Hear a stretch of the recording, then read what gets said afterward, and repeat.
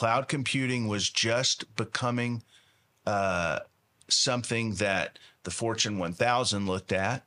You know, forget about small and mid-sized Mm-hmm. companies. I mean, this was it, it. It it literally was catching the wave I remember how before well it became a wave. Yeah.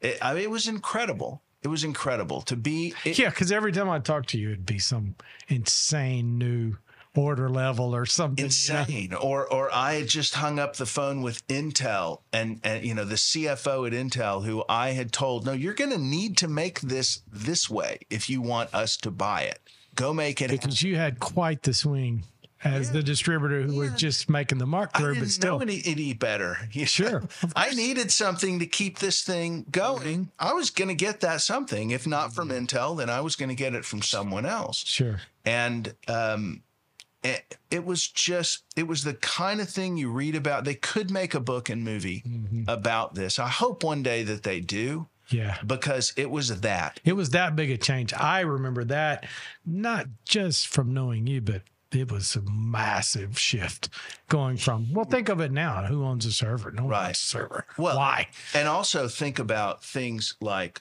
WhatsApp or I mean, think of any other, you know, cloud-based application. I'm sure, uh, y- you know, uh, Uber or uh, Uber Eats or just anything you can think of that's an app. So other companies that were all in the cloud, think about that. Companies like Snapchat or, you know, you open up Maps Right. or just anyone that was in the cloud. That was all new back then.